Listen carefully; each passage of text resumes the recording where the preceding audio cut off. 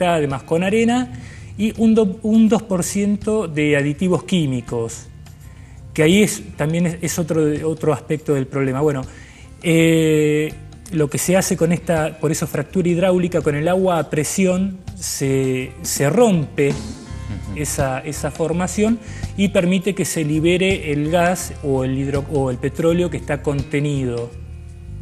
Eh, primero que eh, se utilizan grandes cantidades de agua. Estamos hablando eh, un piso mínimo por perforación que son 54 millones de litros. Y esto es un piso mínimo, puede superar los 100 millones de litros por perforación.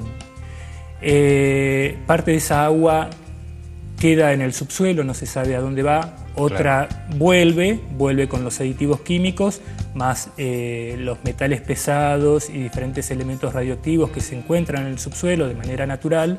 Entonces, ahí ya tenemos un residuo tóxico que no sabemos qué eh, va a suceder, cuál va a ser la, su disposición, claro. o si hay formas de recuperación.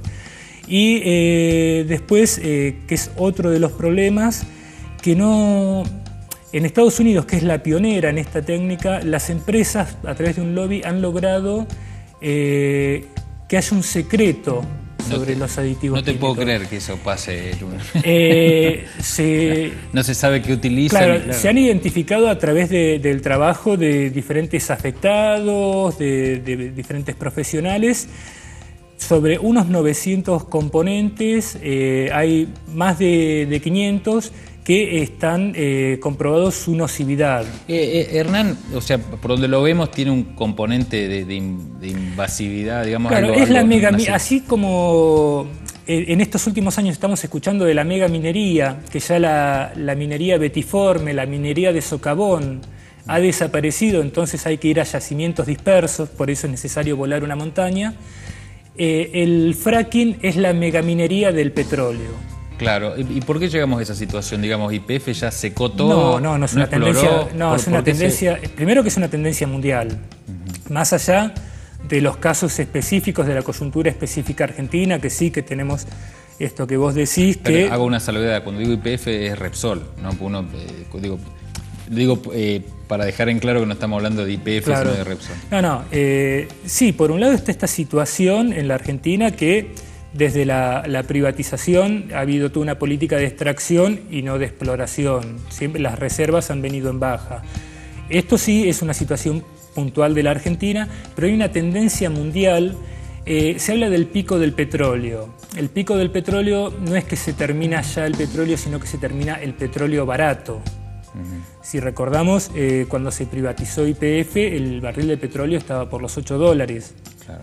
Hoy está siempre flotando alrededor de los 100, lo supera, baja un poco, pero entonces tenemos, eh, hay una prueba del encarecimiento que ha tenido el hidrocarburo. Y bueno, y esto de la, del fin del petróleo barato quiere decir que, bueno, que ahora para obtener hidrocarburos se, va, se avanza sobre fronteras que antes eran desechadas. ¿Por qué? Porque requerían mayor inversión, porque no existía la tecnología para explotarlas. Hoy se va avanzando sobre aguas profundas, como es el caso del Presal en Brasil, este gran yacimiento a gran profundidad eh, en el mar de Brasil.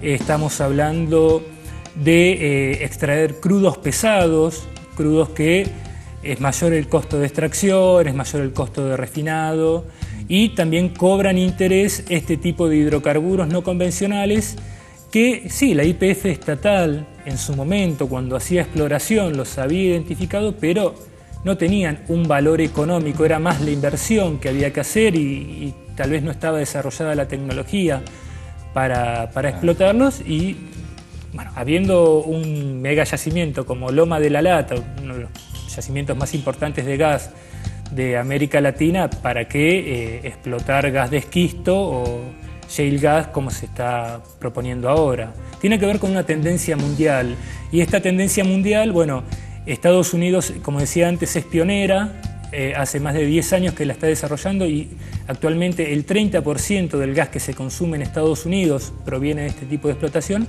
pero eh, se está dando en Europa, eh, se está promoviendo en Europa, tenemos que, bueno, en Francia y en Bulgaria han prohibido el método del fracking por, este alto impacto, se han declarado moratorias. En el norte de España también hay movilización porque se quiere desarrollar este tipo de, emprendimientos. Eh, en Inglaterra lo mismo. En Suiza, en un cantón suizo, ya se ha dado una prohibición. Eh, Polonia está en una moratoria y es presentada como el paraíso del fracking. Eh, tenemos en Australia, en Gales del Sur, que, que ha sido, se ha declarado una moratoria en Nueva Zelanda. Y, yo te, traigo a, los términos políticos, ¿no? o sea, la estructura es, salir a buscar donde haya. Sí.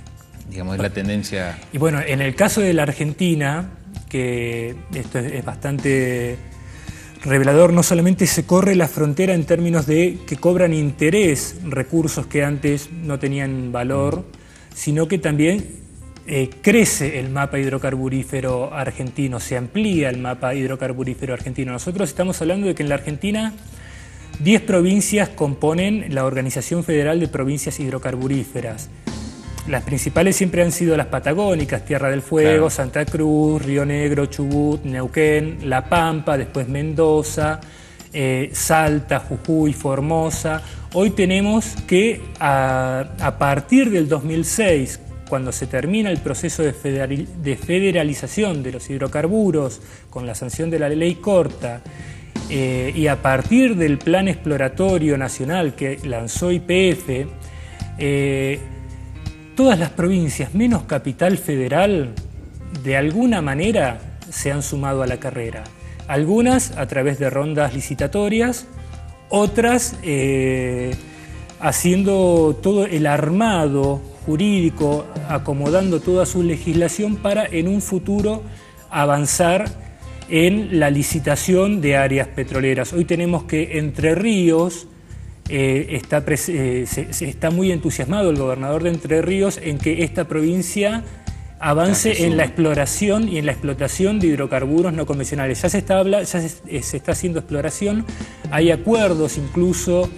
con eh, la, hermana República de Uruguay, porque hay una cuenca compartida, entonces se está viendo entre Uruguay y la provincia de Entre Ríos, también con la, con la intervención de IPF en el desarrollo de esta tecnología. Hay una ampliación de la, de la frontera muy, muy importante eh, en estos términos, ¿no? Eh, vamos a ir un corte rápidamente y hoy seguimos en Cartago hablando sobre petróleo.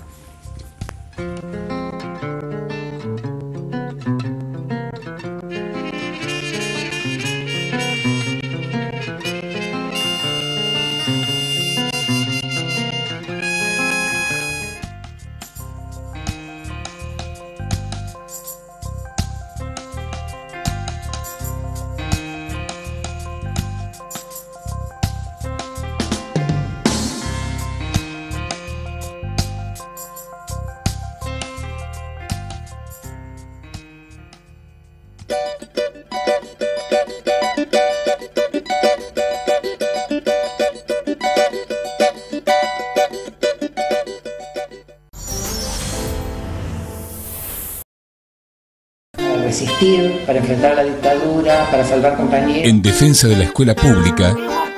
Encontrar al autor material y condenarlo, pero también sabemos que hay otros autores. En contra de la impunidad. La unidad de los trabajadores para no dejar pasar acá en Neuquén la impunidad. ATEN